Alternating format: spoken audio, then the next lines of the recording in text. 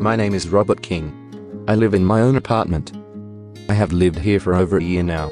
By myself. This has been my dream my whole life. I waited for this for a long, long time. Now I am the king of my castle. I am a man with ideas, ambitions, love and humor. I am very determined. My mates describe me as kind-hearted. I am always looking out for others. I am great at asking for help, which is a really important skill. My dear sister, Jennifer, was born when I was 8 years old. My mum Lola and my sister Jennifer have always been the most important people in my life who I love so much. After I left home, I lived in institutions with hundreds of other people with disability. Two years ago, the Stockton Centre closed down and I was moved into a group home with four other men with disability. This is not where I wanted to live. For most of that time, I wanted to live in my own home. People said I wouldn't make it on my own. For too long, people have tried to tell me where I should live and how I should live but I have always had my own ideas. I have always wanted a place of my own. I have always wanted my own privacy. Technology is really important to me. I learned how to call for help if I need it, day and night. I learned how to get around my local area safely. I learned how to open my own front door and turn on my own lights. It feels great to be independent. All my life I have always had nurses and support workers around me so it took me some time and some practice said that I could be confident to spend some time by myself. But I always knew I could do it. My privacy and freedom are so important to me after years of living by other people's rules. I also love having time by myself, getting out and about on the streets of Newcastle.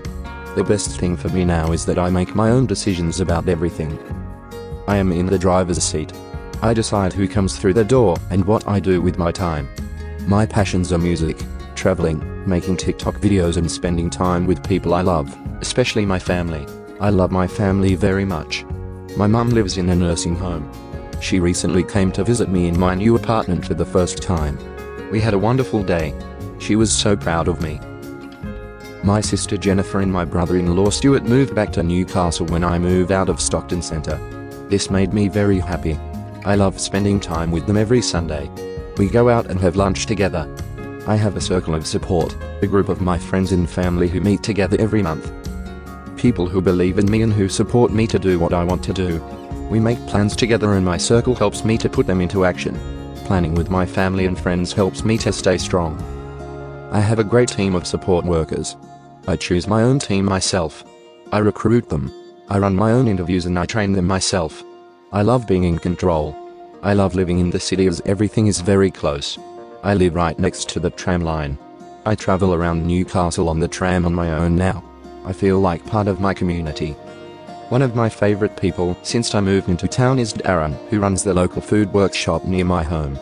Darren is my good friend and he is always supporting me and including me in his shop. I interviewed Darren about how we got to know each other.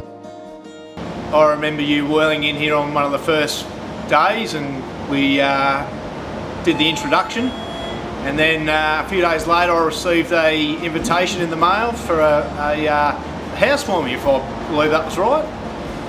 And uh, we came over there and had a lovely barbecue and a few drinks and uh, got to know each other a bit better.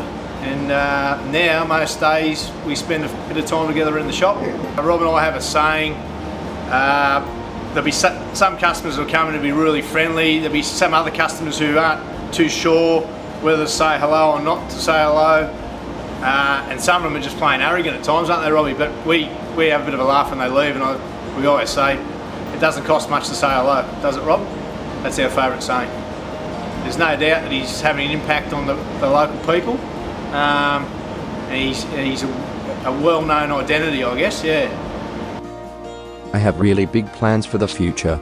I want to become a successful businessman and filmmaker.